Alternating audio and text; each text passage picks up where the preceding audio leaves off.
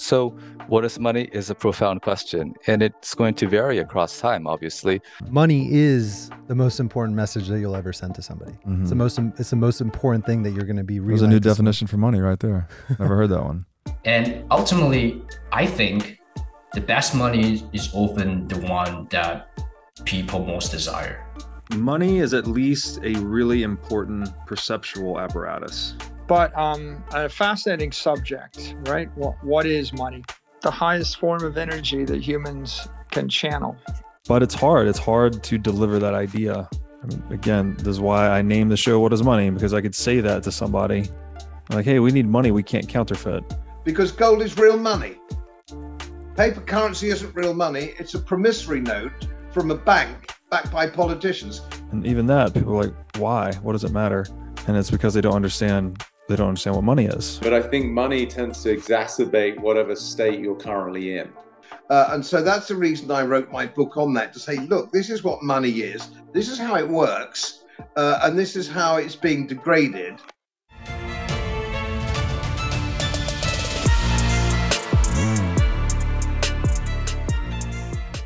Hey, everybody, welcome to the What is Money Show. I am thrilled to have you here joining me on my mission to help shine light on the corruption of money.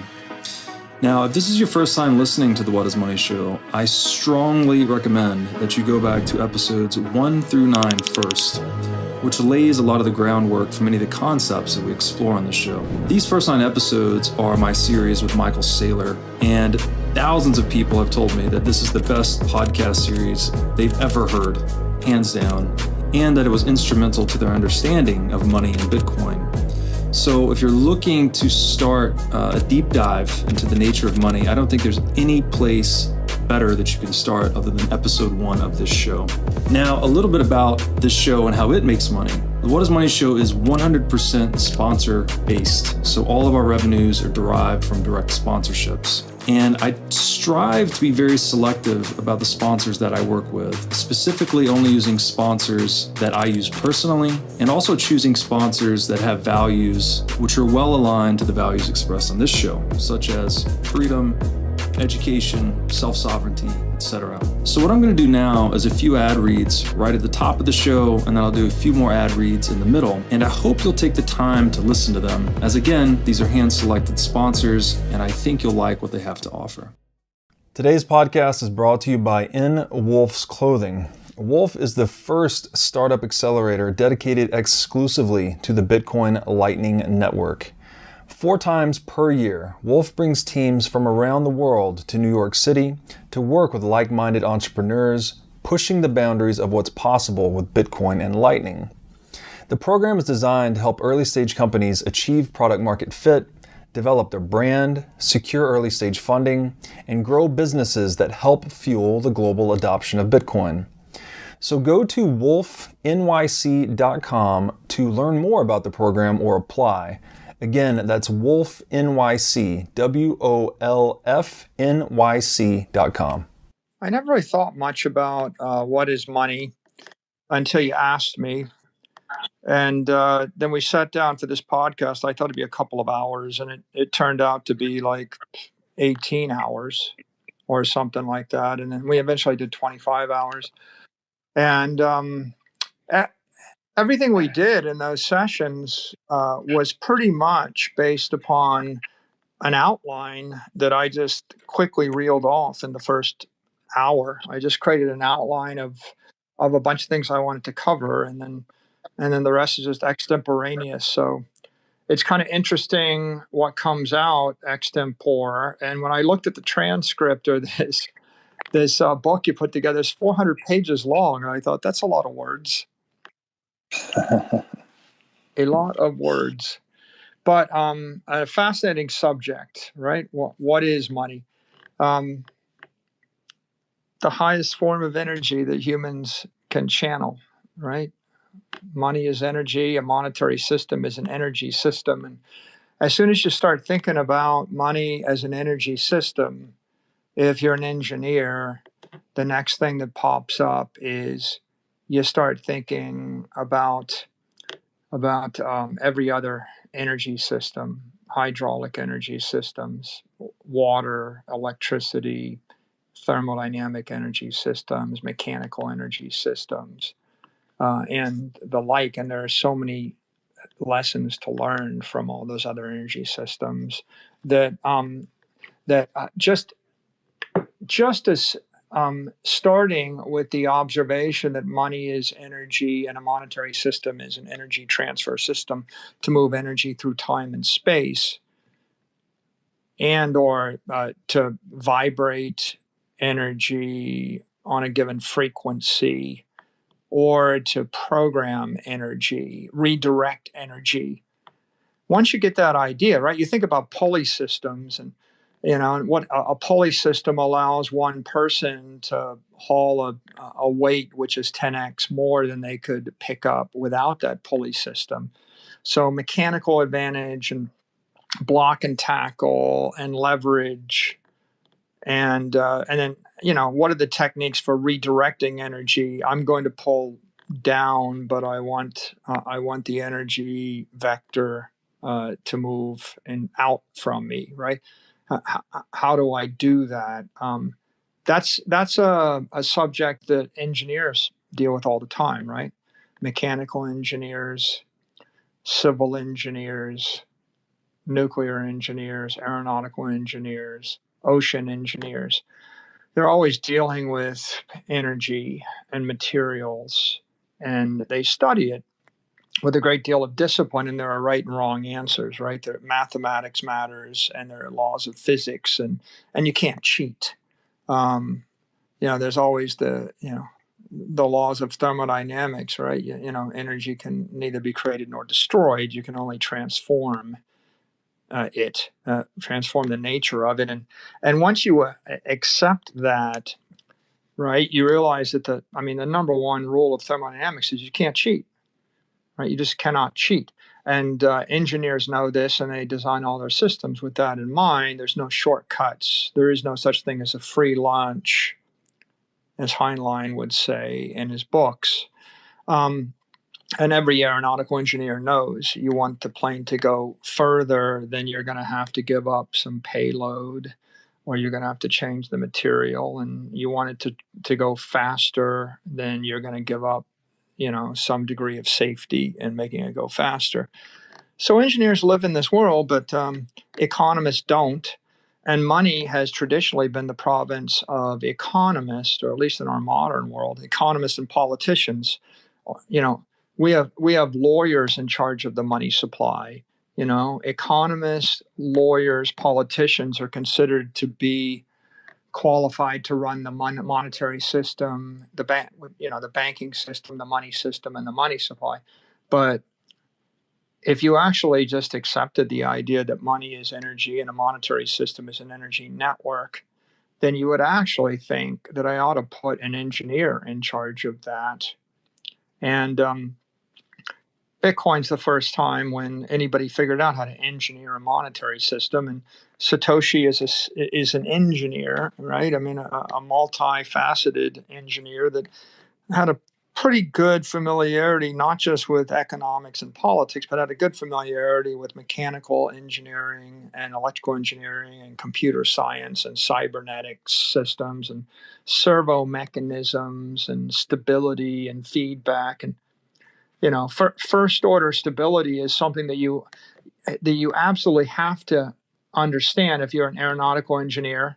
When you design an airplane if it's stable it means when the plane tilts 10 degrees to the left the um, the lift on the wing builds up to bring the airplane back to center. And if it's stable it'll tend to fly true and and upright. And if it's unstable when it tilts 10 degrees to the left, it'll tend to tilt 20 degrees more to the left, and then it'll just flip and go into a, a spiral, a death spiral, and you'll crash into the ground, you'll die. And so, lack of stability uh, typically means the plane crashes and burns. And in, uh, in ocean engineering, when you build a ship, you want stability so that when the ship, you know, pitches, you know, 10 degrees to the to one side, it tends to want to come back and you know, to stability, to a to a neutral buoyant, stable point. Uh, and if it does that, right, then it's going to not capsize. But if it's unstable, the you know, if you get the center of gravity too high, uh, or the center of mass too high in the ship, you know, you tilt 20 degrees to the left or or or something like that. You get a roll, uh, and the, the thing just rolls over. So, um, not not engineering systems with stability is a death sentence in the engineering world, but uh, in the monetary world, not getting the stability right is a political inconvenience, and you just kick the can down the road and leave it to the next person. And ultimately, the result is the monetary system collapses. But if it takes 10 or 20 or 30 years, you're not there and you can just blame it on something else. So, so I think the question really um, had a big impact on me, as you can tell. And um, and the result was whatever 25 hours of content and 400 pages of stuff. And uh, last I checked on YouTube, looks like we have 250,000 people viewed it. So that was uh, quite surprising. Yeah, it's it's been uh, quite tremendous, and I I find it interesting that this just a relatively simple question about something that we all use and think through every day takes you straight into the you know some of the most primordial substances. We were talking about time and space and energy, feedback systems, etc. Um, and I, you know, I, I, really appreciated the framing. We were talking about Bitcoin moving us from politically run money to a appropriately engineered monetary system. Money is at least a really important perceptual apparatus. Right, I've, I've brought up the term price signals a lot, but we think through money. Right, mm. it's almost like we when you see, and this is stock markets. Right, you're looking at the prices of things changing you don't know the mm-hmm. story behind that. You don't know the natural disasters or the new production uh-huh. facilities or the new trade agreements yes. that led to that price. All you know is the price. And, you know, often in markets, they say price is truth. So it's mm like the ultimate economic telecommunications device, the pricing system. And this is again what allocates capital intelligent, intelligently in a capitalistic marketplace, a thing that socialism cannot do well all of that communication is occurring through money right? We're speaking through dollars or whatever currency it is. So i don't know that there's a relationship between money and consciousness per se but there's at least one between money and perception.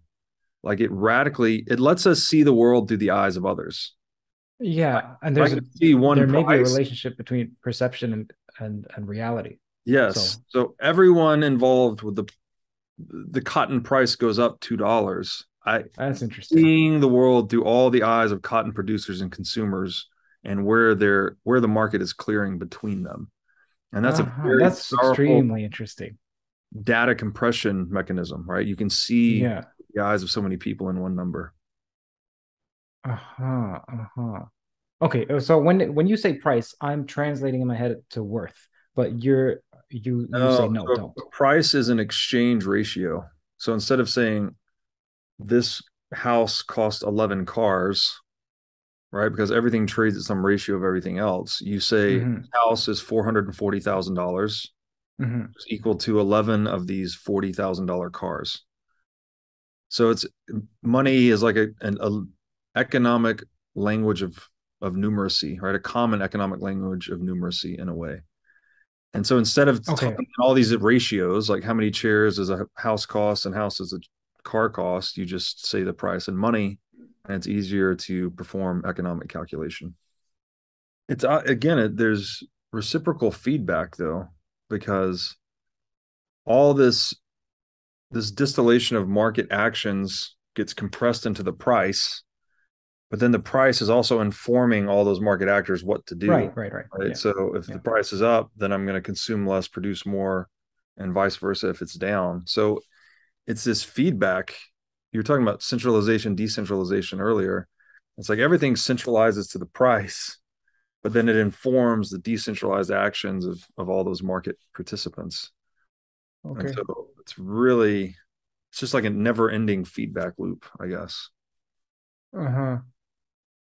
And it, that's probably how cognition works in some way. I'm not, you know, I'm not super familiar on this, but it again, I would call that distributed cognition right? You've got yeah. a bunch of minds interconnected by the price signal, and they're mm-hmm. moving in concert based on how that price moves. So it's you've wired together a distributed cognitive network. I would imagine the individual cognitive network works some in some way similar to that. The vote you cast with your wallet matters much more than the ballot you cast. So if there's an if there's an institution that can print money at the heart of the economy, then it's effectively voter fraud, right? The more money they print, the more they're defrauding the voting mechanism that is the marketplace. And you know, as you're going through that explanation of the different individuals that are currently in charge, the word corrupt comes up a lot. And we know, you know, what Lord Acton said that absolute power corrupts absolutely. And if money, you know, one of the things money is clearly is an is an instrument of power or a tool of power. So if we have corrupt money, it's not that surprising to me that we have so many corrupt characters at the top of the political hierarchies. Um, so, you know, I would argue, as I do argue, that we need some incorruptible money to fix this, fix these problems. Let's say at the root, rather than just hack at the leaves. Well, that's certainly needed. Um, Bitcoin is complex enough, although once you penetrate the jargon and get your head around the principles, it's sort of obvious in a way. It's like money that can't be printed in a world flooded with printed money or or cannot be counterfeited in a world flooded with counterfeit currency something like that um, but it's hard it's hard to deliver that idea you know it's i mean again this is why i named the show what is money because i could say that to somebody like hey we need money we can't counterfeit and even that people are like why what does it matter and it's because they don't understand they don't understand what money is, right? If you understand what money is, you understand that counterfeiting the money is the equivalent of stealing from the saver, the person using the money for savings. So all of a sudden yeah. you realize, hey, I've got dollars in the bank account. I'm one of the victims. And I, I think if you could just install that one idea in everyone's or most everyone's mind, this goes to that old Henry Ford quote that he said something to the effect of, I believe if that everyone in the United States understood how the banking system operated, there'd be a revolution before the morning. Like if you just understood money and banking, you would, and you're a depositor in a bank, then you should be royally pissed. So as long as we act as if you know the government has power, then well, government's going to have power. As long as we act as if uh, maybe this money is useful, then it's going to be useful. Now, there's some real it's not like I, it's such a hard thing to talk about because it's not purely a belief system. It's not like you just believe whatever you want. Like let's all believe bananas are money. That's not going to work because bananas don't have. There's objective qualities that we desire in money that bananas lack, for instance. So there's this weird sort of feedback between our subjective stories that we're creating and then objective reality, and we live somewhere in between. um, yeah. I, I think I want to unpack that a little bit in, in a very um straightforward way, like what Girard mean, you know, um, desire in, in, in the mimetic way. Um, like what object should be desired, right? It, I think we need to define that. If, if an object is infinite, uh, you lack desire because it's infinite. You, you're kind of like, you don't want to desire something that is you know um, abundant right you desire something that's scarce right so when when people like desire for the object the desire for scarcity of you know of that object it doesn't really if an object is is is kind of infinite we, we won't we won't even desire it we won't even think about we won't even have that kind of desire so desire over an object is desire over a scarcity right? If you desire something that is scarce, that's oftentimes happens in, in the in the free market, right? Free market would decide uh, this, which one is most scarce and and how you how, how you gonna you know um, know things that are scarce is because you know uh, it's hard to get, also it's expensive to get, right? Um, so what Girard really means about you know uh, desire over something its desire over scarce object. And, and that desire over scarce object create conflict over that object. For example, right, gold, you know, is relatively scarce. And, um, you know, if there's all there's only like maybe there's hundred ounces of gold in, in the in the safe, and two guys wanted it bad because you know it, it, you can you can sell it at expensive price and it's scarce. And it's why like you know civilization, countries, rich rich people, poor people fight over it and, and think about it like you know this is a because gold is scarce, so we all wanted it, and and when we all wanted it, it become exchangeable money right? And that's when you know when when you think about money is scarce, that's why you desire. And if you think about like you know non-scarce money, right? You won't you won't desire it, um, but you still think you know it is usable, um, but you won't desire. You you wanted to get rid of it when that where you have a chance for a scarce good, right? You exchange for a scarce good because your desire is not in the in, in, in the goods that produce a lot. Your desire is in the goods that produce, you know, less and less. Um, and that creates an interesting dynamic. And you know, and over time, you know, abstractly, right? Not not talking about physical goods here. Abstractly, um, you, you think about power. Power is scarce, right? The presidency is scarce. A chairman of a company, uh, a CEO of a company is scarce so that create a, a, a bigger a bigger desire for individuals or for groups to fight over right? And that creates a larger conflict uh, in, in, in the organization or in society as a whole. Uh, it's oftentimes fight over scarce desire not not not like infinite um, abundant type of desire. Yeah that's that's an excellent point and i think maps onto economics wonderfully. You know, we don't, people, for instance, don't fight over oxygen very often. Oxygen yeah. is extremely vital to life, right? Every breath, we're constantly demanding it, but it is so super abundant, it's non scarce mm-hmm. that we don't, there's no mimetic, acquisitive mimesis about oxygen, right? There's just too much of it. But we do fight over something like gold, right? Gold has no value to our existence in terms of our vitality. We don't need to eat it or breathe it. Yet we've fought over gold probably more than any other, like that and land, probably the two things we fought more, uh, fought over more than anything else in human history. And yeah. it's exactly to your point because it's scarce, right? Just to try and unpack that a bit, you know, scarcity, we we visit this topic a lot on the show and it's not people often think it's purely a supply side phenomenon but it's not. It's really anywhere that there's more net desire or demand than there is supply or means to satisfy that desire.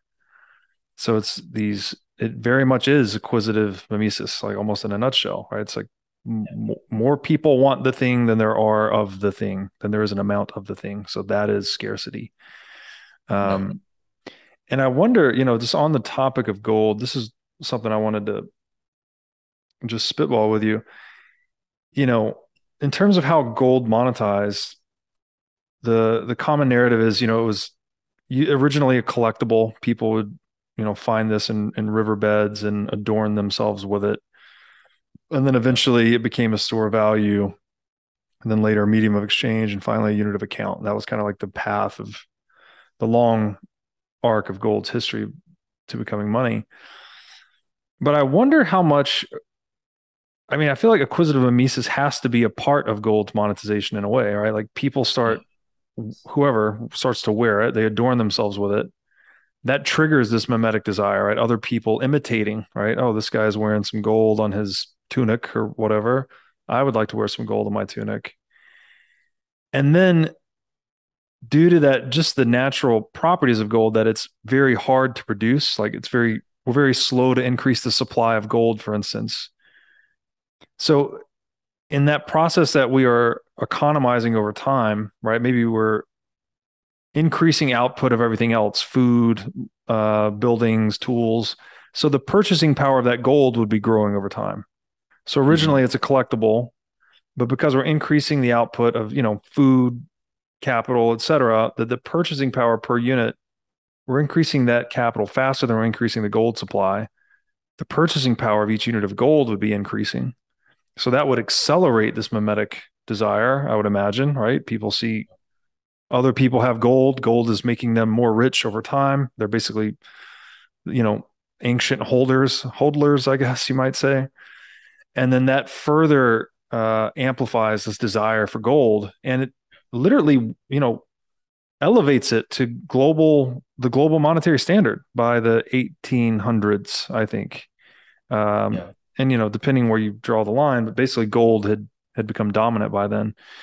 Um, I, I, think, um, I think there's you know every single money um, that we have been used in, in, in the human history is derived from I think it's derived from that desire, right? For example, seashell, right? Seashell is scarce on the mountain, but not in the sea. And that's why people use it as a currency, as a money in the mountain, not at the sea, because at the sea is abundant, at the mountain is scarce. And that over time kind of get abandoned. Why? Because technology improved, people can ship seashell to the mountain much faster and money increase. So that's collapse in, in terms of um, supply and there's less desire over seashell. And and now we we go we we're going to you know you know um, gold and silver, right? Gold and silver hard to produce is scarce. Uh, and why it becomes a currency and the money is because there's a couple unique characteristic about it, right? Is you know it is scarce first and um, hard to produce, right? And you know, you can melt it in any shape you want. Um, and it's shiny, right? It's artistic. Um, also, it, you know, it, it, it's a form of stored value, it's a form of medium of exchange, all that good characteristic of, of money, right? And that becomes desirable over time. It doesn't happen one day, right? When, when, when you offer someone the gold as a money, they, they tell you, you know, give me seashell but you know, at, over time, people desire and that desire increase. It becomes a, a kind of like a global money. Not only just Europe, Western civilization accepted, right? The the, the gold, the, the, the, the whole world accepted as the money, right? You look at Asian um, China or you know Asian, you know Egyptian, whatever, they they they accept gold as the, the de facto money, and that doesn't happen overnight. It happens in kind, of like uh, reinforce the matter desire. Like people desire it, and it's hard to produce, and people desire more. And ultimately, I think the best money is often the one that people most desire. It's a goods and services. It's a goods that most people desire, and that becomes a de facto money. I think gold monetization path is kind of like that, right? First, people don't understand it and then it become the de facto global money because everyone desired it. So I, I think you know, I switched to fiat, right? Fiat, fiat become a dominant form of money because why it solved the one of the major problem with gold is this uh, is portability, right? If paper money is much more portable. Uh, you know, uh, you know, fiat, digital fiat is much more portable. Um, but it, it doesn't solve the problem of scarce scarcity. is it's abundant money, and that's why you see the um, you know. But in, in, in past, it's not like that, right? In past, it's like fiat money can exchange for gold, but that's not the case anymore, right? It abandoned the human kind of like civilization abandoned that concept. Right? We we no longer convert our fiat into gold, um, and we now carry just fiat, right? And that fiat is a representation of credit. Um, and, and, and we can't run that experience for a while because we trust in the centralized authority, you know, the central banks, right? And we believe they're not, not going to increase the supply and they're going to maintain the monetary policy as stable as it can be. But that's not the case, right? In 2008, we saw that. In 2020, um, we saw that, you know, there's a breach in trust um, and, and the desire over the fiat money decreased a lot over time, right? Because why? It's very simple because it's abundant, you know, central bank can print as much as money as they could. And so why I so why you want to desire over the fiat money? Right. right? There's no reason. Um, and then Bitcoin come along, right? Bitcoin introduced um, this idea of fixed supply, and it's nothing else like it, right? It's it's solving the uh, um, the problem of the gold, right? Is is basically a better version of gold, and which you know over time, I think as a desire kind of like reinforce itself, people desire the scarce good over time, and ultimately they become the most desirable goods in the world, and then they become the money in the world. And I, I think all the good money, right, all the all the bedrock of economy and civilization is is always based on this this this concept of this um this um this idea of the best scarce goods. And that become the money of the society and economy. And that's how you're gonna build a different a, a civilization right? And that money cannot be seized cannot be cannot you know cannot be cannot be corrupt right? And and it is it's not gonna be um, centralized. So I, I think there's all aspect right of, of what is a good you know good money. And ultimately the good money is most scarce money. Yeah it's a lot of great points there. And that you know the game or game i don't know this acquisitive mimetic pattern or phenomena it's not something you can like opt in or opt out of even. You know i'm thinking of china india. They stayed on a yeah. silver standard the longest. But they basically lost purchasing power as a result of the rest of the world moving to a gold standard. So you know they're sort of trying to not play that game. They're trying to you know have their own standard but they had an they had a less scarce money ultimately and that cost them right? It, it cost them actual power in the world purchasing power and then ultimately political power. And so yeah and you touched on a good point like hmm. you're losing power right? You're yeah. losing political power, economic power. Why are you losing the power? Because you're not holding the most desirable goods. Yes. That's why you're losing power. Um, yes. and then they have a, there's consequence of losing power over scarce good, right? And this, is this is very like deep deep deep down into like um, psychology or human nature. Like you as an individual, right, or as a country or as a company, whatever, right, as organization, you know, you you need to you need to possess the most scarce good so that you, you won't you won't be um, losing power over competitors or you're not losing power over time. And the power can be like purchasing power, right? Political power, economy power. And if you lose all that, you know, by not holding the most desirable goods, you know, there's a consequence and the consequence is there. Yeah, I'm reminded of the Ayn Rand quote that you're free to ignore reality, but you are not free to ignore the consequences of ignoring reality. No. Um, you know, it's basically the the hardest money to produce is going to become the focus of mimetic desire. Let's talk about like characteristic of money, right? You have to make sure this goods um, satisfy all the needs of being a money, right? I think until until you know Bitcoin discovered, um, there is no such a money like that, right? Gold is most um, close to it, and right. but Bitcoin as technology improve, it, it kind of like improve on you know the gold's characteristic, even even you know hundred x better or thousand x better, and um, and the roadmap of Bitcoin becoming uh, you know a money of the world you know, um, it has to be scarce and desired, desirable. And that's how monetization happen. It's how all the money becomes money. Because, because before they become money, it's just commodity, collectible. And when they become money, um, you need you need all of characteristic, right? Portability, um, scarcity. Um, you know, in Bitcoin, you have programmability.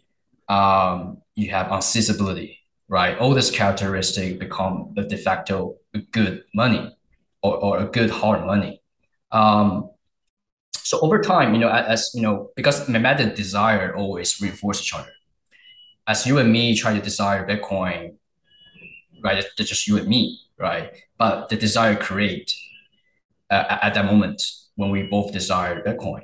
And now, you, if you look at the adoption rate, right, there are millions of people, corporation, governments desire over Bitcoin, and that kind of reinforces itself, kind of like a self-fulfilling prophecy in a way. It's too large, too big. Um, is is the momentum is too huge. It's just hard to stop the monetization um, process, and that ultimately, why why is that right? Why is that? Why the momentum is so strong that you cannot even break it or even stop it? That even the government cannot stop it. It's because the, the desire over scarce goods is too huge. It's embedded in the human nature. It's embedded in, in, in the in the creation of the human history. It's just in you, right? It's in in every single people's psychology. Like people want what other want, right? And and and that's just the idea how um, you want Bitcoin, right? And and maybe your neighbor wants it, right? And they started to desire over it, and over time, if more people desire over it, it becomes the, the money of the world. And we're kind of like on, on that path already. It's just like how how, how long we should take uh, to get there, right? I think gold took like maybe a couple hundred years to get the global money status. Um, how how fast will Bitcoin go? Right, I, I think I don't know, but it it will be pretty fascinating. It will be pretty fast, I think, because it's digital, global, accessible. Um, but you know, ultimately, I want to go back to you know the, the idea of mimetic desire, and that's why this phenomenon has happened like this and it happened before, right? It just followed the same pattern. It has the same monetization process. Um, so you, you know, I, I, I think Girard also touched on this a lot, right? There's a pattern in, in the myth, there's a pattern in, in the Jesus story. And uh, I think that always link back to his, you know, idea of mimetic desire. Um, and same thing with the money that we are we are using um, if looking at the history of the money, right, there's also a pattern. And you find the mimetic, the mimetic desire everywhere in the process of monetization. Now I'd like to tell you about our sponsor, iCoin Technology. iCoin has just released a sleek new hardware wallet. Looks like a mini iPhone, a little touch screen and camera on it. Uh, the device has no Wi Fi, no cellular connection, no GPS. It's a strictly physically cold hardware wallet. Uh, like I said, it's got a high res 3 inch touchscreen. It's got a camera for air gapping the wallet. Uh, it's got optional Bluetooth compatibility. And it's a really a, a, brand new UI UX experience for a hardware wallet, making it very accessible, easy to use, not intimidating. And as we always talk about on this show, the only way you can truly own your Bitcoin is by having it in self custody. So you need a device like iCoin Wallet to truly own your Bitcoin. Go to icointechnology.com today and use promo code Bitcoin23 for 30% off of this new sleek hardware wallet. And it, all of this makes me wonder too, because I've often, you know, often described money as our most important technology. Uh-huh. It has these, it has kind of a hybrid technology plus psychotechnology aspect, and where a technology is something more like a physical laptop, right. psychotechnology being something more like literacy or numeracy or rhetoric, mm-hmm. even like it's a it's a cognitive software basically. Right. Money so is kind of both in a way, right? Because it, it tends to be rooted in physical reality, like like gold was, but then we also think in prices. So it, it kind of has both of these qualities. And so I'm always curious, like how well, I guess one of the things I'm really trying to zero in on with the show and with my work is how much does do changes in the character of the monetary technology influence changes in our mind right they're they're linked together and so i wonder how much of a of a reciprocity there is between the two and um, i'll read another excerpt here from your piece you wrote that central bank digital currency is a type of programmable new money capable of tracking, monitoring, and controlling the flow of transactions. China has become the leading edge of its development. They have applied it to the creation of a social credit scoring program, a system of moral ranking that controls the behavior of citizens. Right. Some see the ultimate goal of the rollout of CBDCs as being to program people like central bank digital currencies. Humanity can now be reinvented in the image of the machine to mm-hmm. act as automatons like robots without feeling. And so it's just interesting to me that we're talking about just using two different tools for the same job, right? One is a form of money that mm-hmm. people can inject their agenda or they can program, right? They can program the money to money. try and engineer social outcomes. Right. Whereas the other form of money, like Bitcoin, is immune to that engineering, mm-hmm. the social engineering aspects. So what you're really right. doing is giving maximal power and autonomy to the individual user. Right. And so the so Bitcoin would seem to empower and enable self-organization, which is what we mm-hmm. observe in nature, by the way, right? Like there's not a lot of apes social engineering one another, right? They self-organize right, into tribes and right, or whatever they call mm-hmm. them. Uh, a group of apes, I don't know what it's called, versus in the C- CBDC world, we do have human apes trying to inject their agenda in uh, in ways that can influence the behavior of other human apes yes, towards yes, their yes. ends. So it's it's this weird. It's almost like CBDCs allow one group of humans to make other humans a means subhuman. to an end.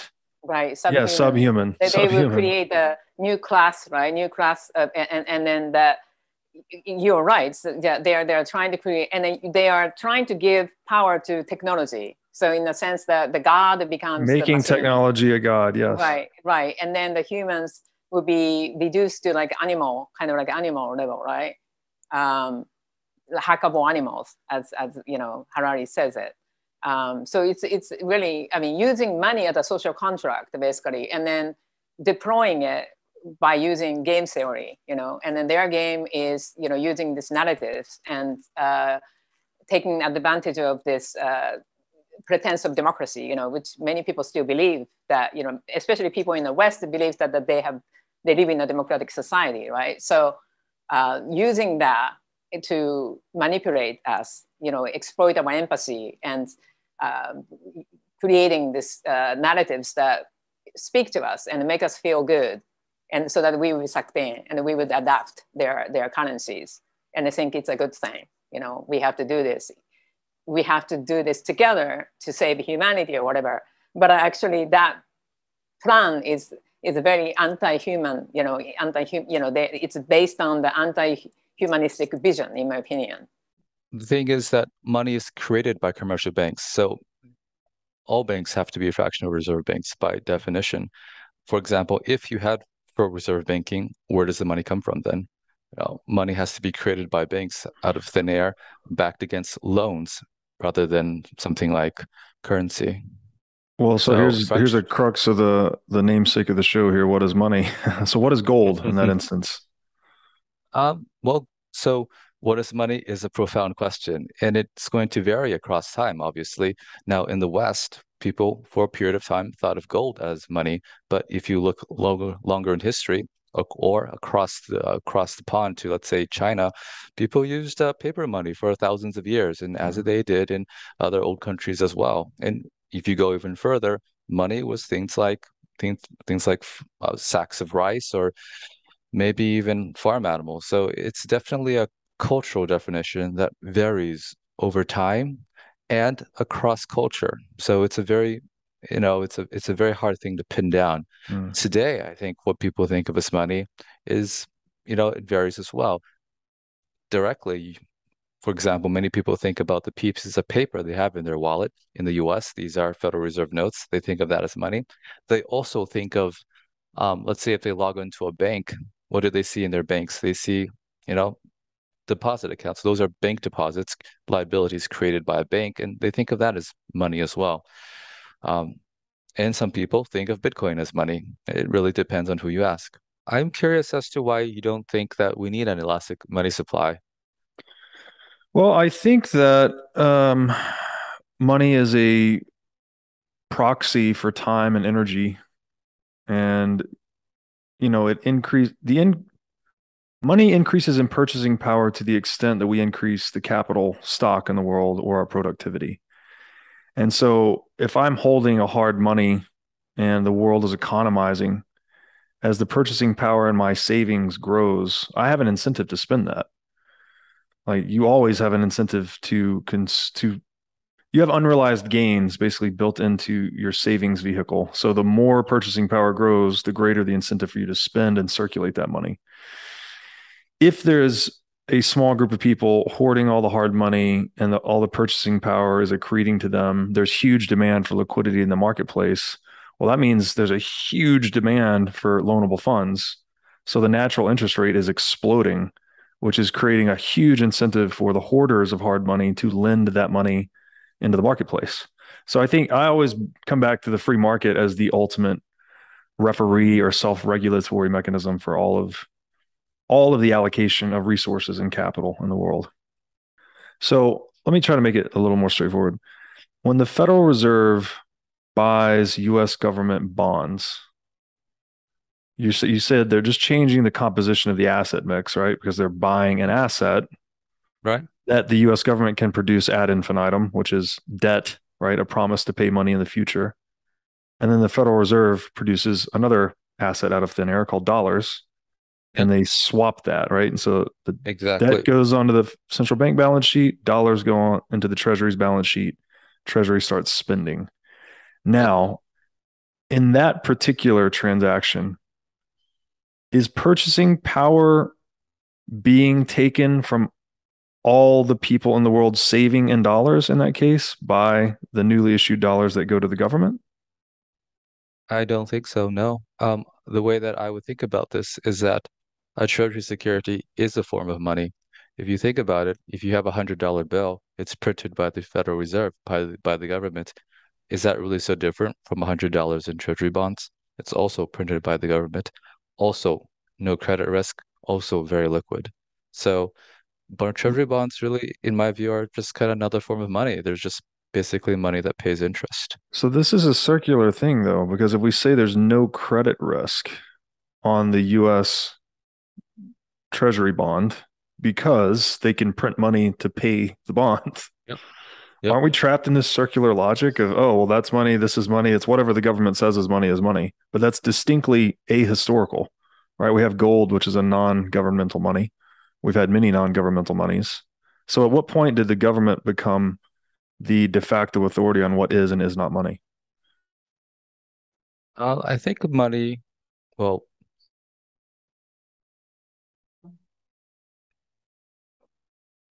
so money is whatever. So you could be decided on an individual level. For example, if I open up a store, I can only be willing to accept maybe payment in gold. Sure, I can do that. Mm-hmm. Um, so it is in part a cultural and a social agreement.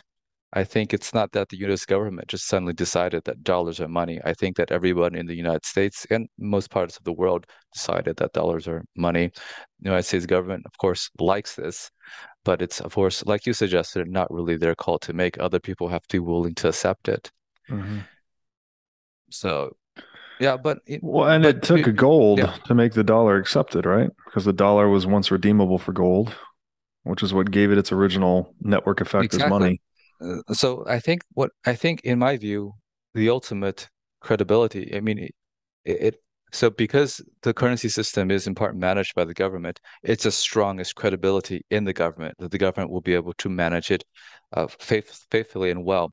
And the gold standard was a way to uh, instill confidence uh, that the government wouldn't just mismanage it completely because you could always redeem it for gold. It's a constraint on government, basically. Mm-hmm. Um, so, what happened, I think, in the past few decades is that confidence in government grew so strong that the government did not actually feel that they needed this extra constraint to make themselves more credible. Um, but as I think we're seeing now, they just, you know, maybe are not as credible as they used to be and so are kind of spending a lot more and creating a lot more money than uh, than is prudent.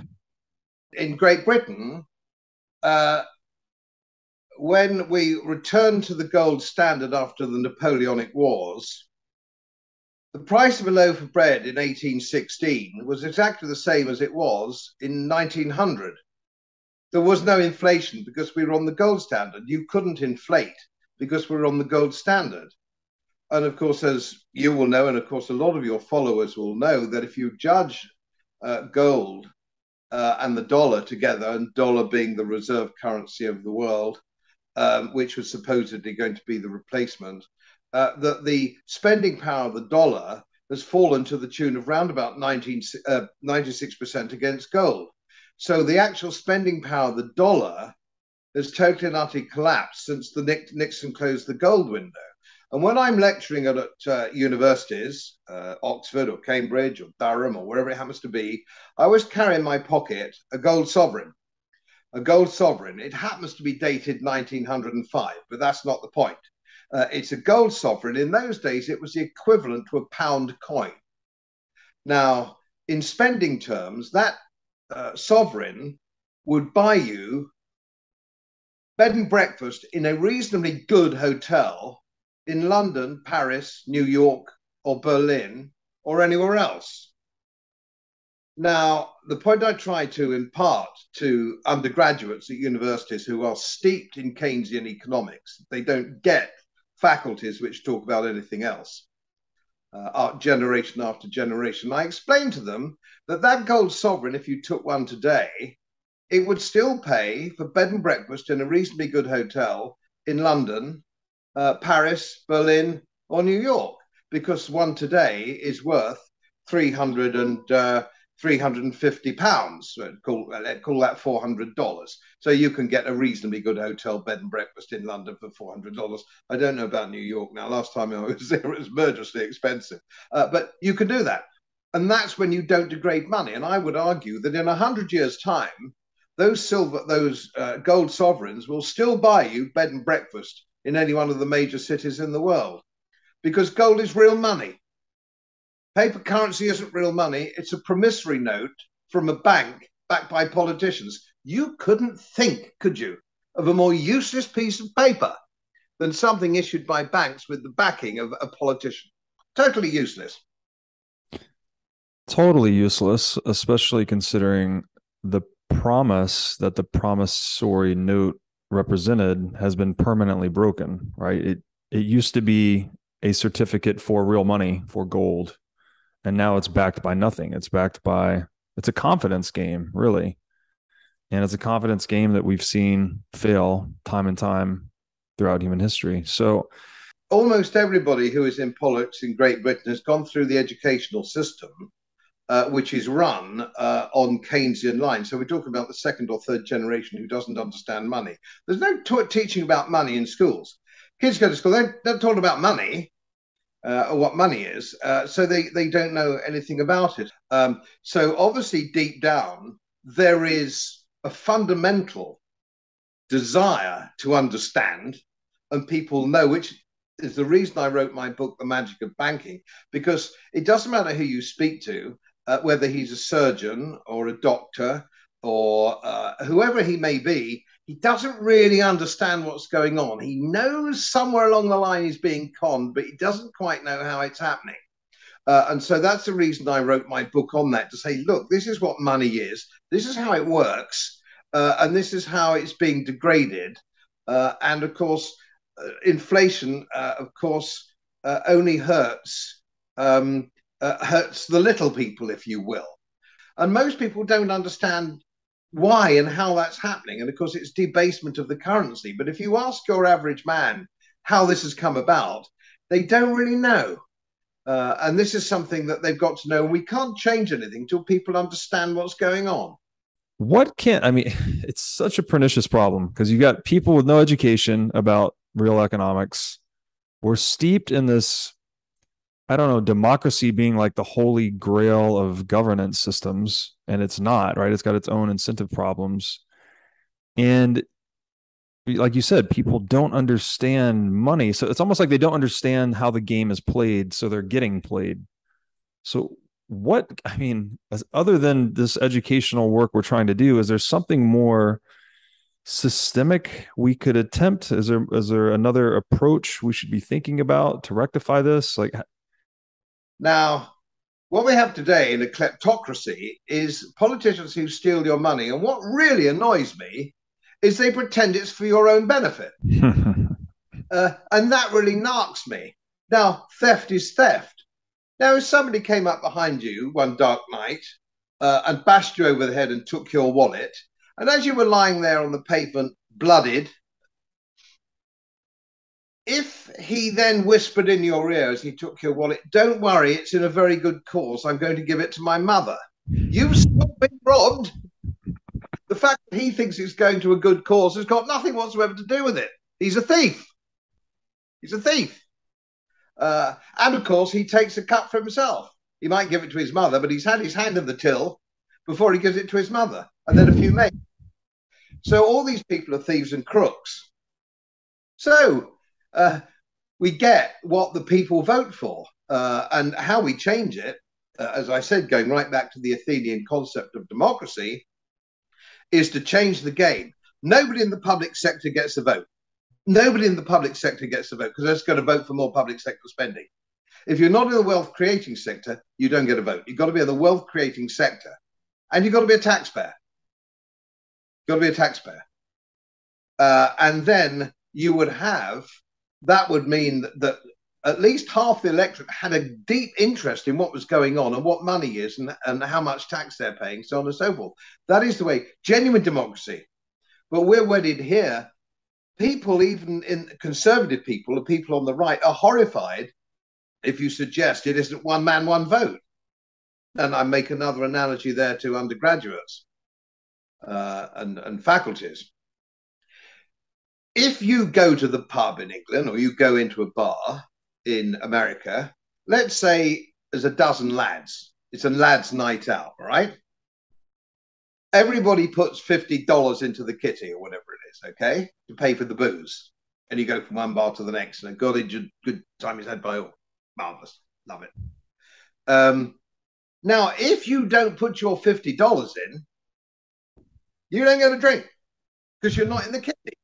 Mm-hmm. And you wouldn't expect a drink, would you? You wouldn't expect it. You're not in the kitty.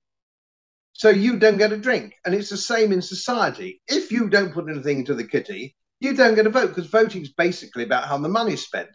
But if you're not putting any money in, you can't have a vote. Now, for those people who say, oh, well, you know, can't do this, can't do that, it's immoral, all that kind of bullshit. What is immoral is being forced to pay for your neighbor. You're working, he's not working. Being forced to pay for your neighbor, that is immoral. Mm-hmm. And you could do it another way so that people aren't disenfranchised. You could give the wealth creator three votes and the guy who isn't creating any wealth, one vote. And that would rebalance mm. our society and our economies. And I think that would be at least something that should be even talked about, but these things aren't even being talked about, are they? Uh, how much longer can we go down this path of degraded currency, bankruptcy, uh, the highest uh, global debt ever? It's something like $270 trillion, isn't it, if you take corporate and mm. public these numbers are inconceivable, aren't they, to the public mind? Does anybody really understand that? You and I are in the money business. I don't understand those kind of numbers. They're miles over my head. So we've got to do something. But of course, we won't do anything. It's got to get worse. And when it gets worse, what will happen? We won't have everybody saying, my goodness me, we should have been libertarians. The government have created all this mayhem hmm. because they're greedy and crooked. They won't say that. They'll say we didn't have enough government. We need a hmm. firmer government. We need a different system. We need communism or we need fascism or something and all the rest of it. And more police, armed police, politicized police, and more FBI and all the rest of it. That's what's going to happen when it all collapses. And this is what's happened in history. It happened the French Revolution. They got a new emperor. They got Napoleon. Uh, the Russians had a revolution and they got Stalin. Uh, the Germans had a sort of revolution uh, after the war and they got Hitler you you don't get libertarianism, you don't get free government, you don't get a free society with a revolution. You get more of the same, uh, and that's where we're heading. Now I'd like to tell you about our sponsor, Wasabi Wallet. With Wasabi Wallet, you can receive, send, and store Bitcoin privately. In Wasabi Wallet, your transaction history and wallet balance are completely hidden. Wasabi Wallet is easy to use. All of its privacy features are built in by default. and it works with any amount of Bitcoin. Wasabi users can make CoinJoin transactions together with BTC Pay server users or Trezor Suite users. For BTC Pay server users, they can make payments directly inside of a CoinJoin, and for Trezor Suite users, you can make CoinJoins directly on a hardware wallet. These features result in the fee savings and security improvements for both sets of users. So go to wasabiwallet.io today to download the state-of-the-art Bitcoin privacy wallet. We've always wanted to communicate. We've always needed to communicate. We've also always needed to transact with one another. But there's some common ground being established perhaps between the two on this in this internet vision where you actually have money moving with messaging itself. Exactly. So you're paying with likes or getting paid for posts or whatever it may be. So it's almost like the the and Bitcoin obviously is very fundamental to this, but it makes money and language much more closely related. Because now with Bitcoin, you just to to know your private key is to own something. Sure. We've never had anything like that before. So this Sure. is a second order, third order consequence of that unification. Is that the, like is this the larger vision you see money and information sort of melding together in this creator economy? Absolutely. And, and I think that most importantly, it's the most important form of communication. Mm-hmm. Money is the most important message that you'll ever send to somebody. It's the Mhm. most it's the most important thing that you're going to be There's a new definition for money right there. Never heard that one. Money is the most important message you'll ever send to somebody. Thank you. That's, It's uh, it definitely carries the most weight for Yeah. sure because I always say we all know actions speak louder than words. Yeah. But to actually accumulate capital, which money represents a, a claim on, takes many, many, many, many, many actions typically. Yeah. So capital speaks louder than actions, which speaks louder than words. So when you talk about money speaking loudly, or yeah, I guess you could sum this up in a, a rap lyric, right? Don't talk, let your money talk for you, something like that. Mm.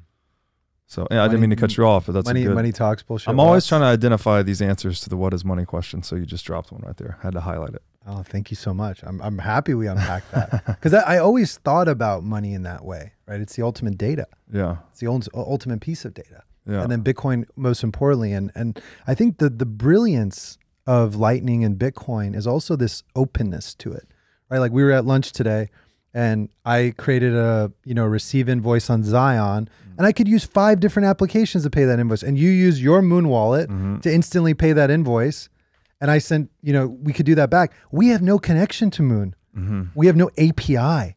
We have nothing. We just have this open standard that we followed. Right. And now our application, this random social media app, is now part of a larger payment network Mm. that didn't require me to call any company. Mm-hmm. It didn't require me to do anything. It was just, hey, follow this open standard. And now you're part of the largest payment network ever created. That's like that to me is an unlock amazing thing. Yes. And if you think of like even V1 Zion, and this was the first app that we built, and this is not the V2 that we'll unpack a little bit more around identity, is that I launched that app with, I used all my own capital. I think I spent a couple hundred grand, not a lot of money. Put it out to the market to just see are people going to actually buy this thing? Like, is this something people want? We processed 120,000 Lightning transactions between creators and fans in the first five months. And I never built a payment company in my life. I just used this open source code to do hmm. that. And I think that's brilliant, right? You're talking about something 20 years ago, like PayPal, took billions to produce. Yes, created trillions in enterprise value, whatever, hmm. but it took billions to produce that payment network. Mm-hmm. I'm building a payment network off an open source system, being able to do the same and and speed. Did you see how fast that was? That was instant. It was Yeah. crazy. I was like, damn, that was fast. And it's essentially final settlement. Exactly. take possession of it. instant finite settlement, instant remittance. Because I can take that those UTXOs immediately. I can take that, not the UTXOs, but I can take those sats immediately and go buy anything I want. That's right. And it's over. Mm. I was just inspired with the correlation between what you were discussing in the realm of money and sort of what I'm talking about in terms of spiritual freedom, you know, Yes. and uh, Yeah. just definitely seemed to be a beautiful resonance there. So it was nice yes. connect. Freedom, freedom is well, one of the ways we describe money is like an the ultimate instrument of freedom or an instrument of pure optionality clearly yeah. only in a very pragmatic worldly sense. It doesn't give you spiritual freedom obviously but there is some connection there um yeah. in the nature of freedom. So there's definitely an overlap and i think people perceive money as a form of freedom right? Until such time that they usually have sufficient amounts to realize no it's right. not. Yes yes yes. There's there's a bit of a, of a paradox there. Yeah. You, you, can gain a lot of worldly freedom only to realize that it's not um, true freedom i guess. Yeah exactly. So, um, might facilitate freedom but i think money tends to exacerbate whatever state you're currently in. Mm, yes. Right? So if you have internal freedom prior to having money then for sure you're going to see an enhanced experience of freedom in all arenas. But if, you know, and again, it's just an assertion, your internal state is more to do with anxiety, fear, concern, then I would assert that that is equally going to be exacerbated by virtue of having more possibility, but therefore seeing more of those experiences in more arenas. So, right. So it can amplify whatever state you're in. yes, that's funny. I heard Tim Ferriss describe it once that money was a bit like alcohol that it would, you know, if you're naturally kind of a good natured person, it might just give you a little bit more of that. But if you're yeah. dark and brooding and upset, then it's only going to kind of amplify that that side of your being. Yeah, um, absolutely. The big use case probably for money is that it propagates price signals in an economy, right? So it's it's actually distributing yep. information from the minds of individuals into the collective and back and forth. It's this this reciprocal wave and uh, but that only works well to the extent that money can't be counterfeited right once you start counterfeiting or double spending yep. the money it propagates misinformation i don't know if i want to use that term. It distorts price signals and causes the misallocation of capital exacerbating the boom and bust et cetera et cetera. That's all a data yep. problem at the end of the day. It's all a data problem. It's like you're talking about it's a data issue. So um, how are you ever going to prevent the um, the body populace if you can't help the individual control their individual data. Either a they don't know where it is how it's duplicated. We have the usps example where it's photocopied and kept on a shelf for every communication. Or even if they do they can't do anything to stop it. So you kind of help parties to help themselves. You minimize the attack vector and then you have a more robust system. And yeah there's trade-offs and yes it can be more difficult for law enforcement but guess what? Like um, it's supposed to be difficult to deprive people of uh, property, life, um, or um, liberty, uh, or liberty.